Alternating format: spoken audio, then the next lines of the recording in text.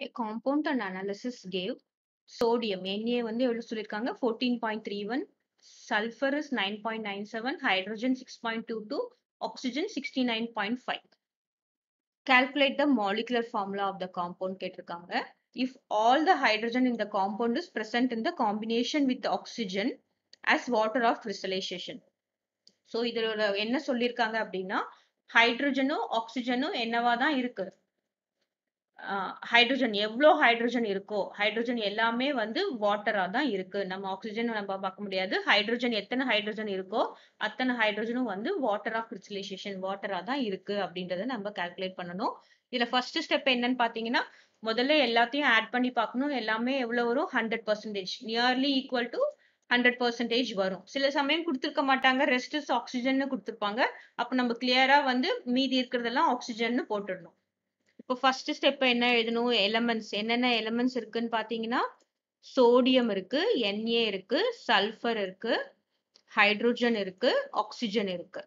அப்புறம் நெக்ஸ்ட் அதோட atomic mass atomic mass sodium எவ்வளோ? டுவெண்ட்டி த்ரீ சல்ஃபர் எவ்வளோ பார்த்தீங்கன்னா தேர்ட்டி சாரி நெக்ஸ்ட் நம்ம என்ன எழுதுறோம்? நம்ம கொஸ்டின் முதல்ல எழுதிக்கலாம். என்னென்ன பர்சன்டேஜ் என்னென்ன percentage which is converted into grams அப்படியே ஹண்ட்ரட் பர்சன்டேஜ் நம்ம கிராம்ஸ் ஹண்ட்ரட் கிராம்ஸ் கன்வெர்ட் பண்ணும்போது நமக்கு என்ன வரும்? Fourteen point three one grams இது வந்து nine point nine seven grams இது வந்து சிக்ஸ் பாயிண்ட் டூ டூ இது வந்து sixty nine point five next இதோட அட்டாமிக் மாஸ் எழுதுறோம். சோடியம் வந்து twenty three sulphur thirty two hydrogen ஒன்னு ஆக்சிஜன் வந்து sixteen next relative number of atoms relative number of atoms or moles அதை நம்ம எப்படி கண்டுபிடிக்கிறோம்?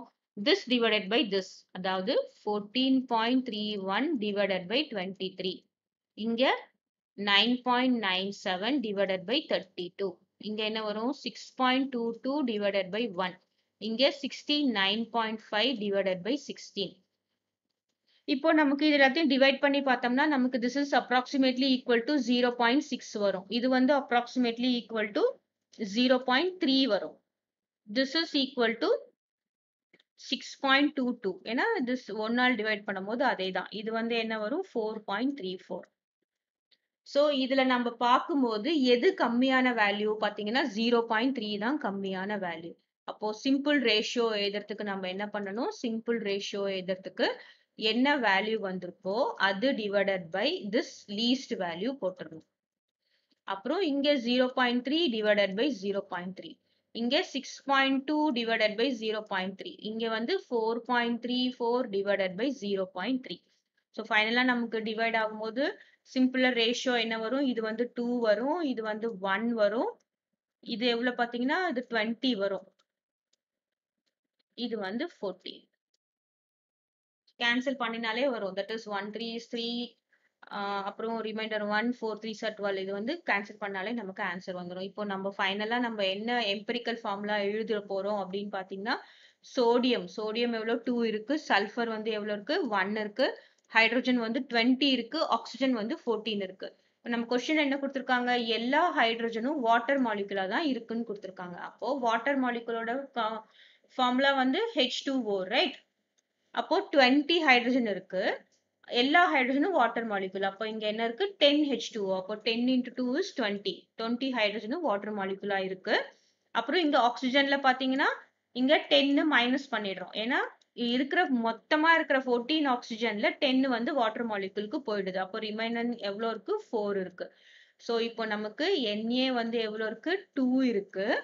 சல்ஃபர் வந்து ஒன் இருக்கு. ஹைட்ரஜன் எல்லாமே வாட்டர் மாலிகுலா போயிடுச்சு. ஆக்சிஜன் எவ்வளோ இருக்கு? ஃபோர் இருக்கு. So N A two S O four point ten H two O is your empirical formula